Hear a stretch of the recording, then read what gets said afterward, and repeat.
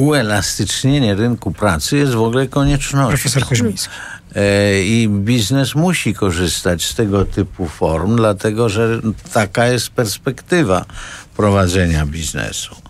E, natomiast e, rzeczywiście warto byłoby pomyśleć o tym, zgadzam się z panią prezes całkowicie, że powinno się pomyśleć o tym, żeby te rozwiązania były mniej dotkliwe dla pracowników. I z drugiej strony znowu wydaje mi się, że poluźnienie tych umów stałych także byłoby rzeczą potrzebną, czyli spotkanie się gdzieś, gdzieś po środku. E, natomiast e, to oczywiście jest temat społecznie bardzo drażliwy. Ja mam pewne wątpliwości co do tego, co do tych liczb. Dlatego, że y, badania Narodowego Banku Polskiego wskazują, że ilość, mm, że tak powiem, procent pracy tymczasowej w Polsce nie odbiega w zasadzie od średniej europejskiej. To są nawet ostatnie badania, które NBP publikował. To jest no raport sprzed 3, 3 czy 4 tygodni. Mówiliśmy o tym sporo. Z takim nie powiem zastrzeżeniem, tylko dodatkiem, że ta wskazana tam niewielki procent osób, które są zatrudnione na te niestałe umowy, ale już w takie właśnie te odzieło czy zlecenia, mm, y, że jednak to badanie, które NBP prowadził, to było badanie ankietowe.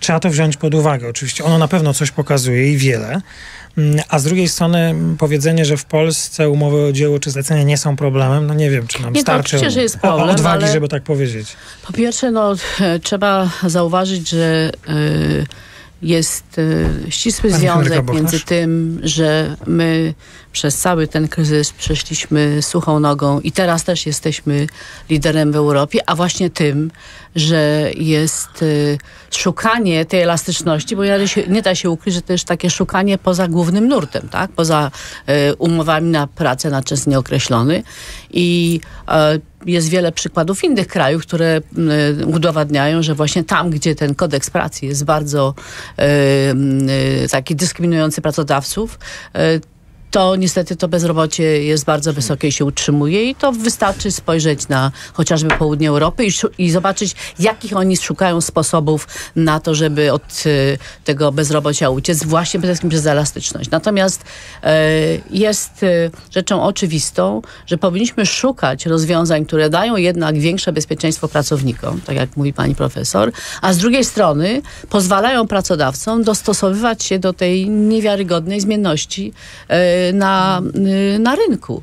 I e, myślę, że takim dobrym krokiem było mm, to rozwiązanie, które Lewiatan popis, podpisał wspólnie z centralami związkowymi na temat ozusowania umów zlecenia. Mhm. Natomiast trzeba iść z tym dalej I, i, szkoda, że właśnie nie mamy funkcjonującej komisji trójstronnej, bo to jest dokładnie temat, którym ona się powinna zajmować.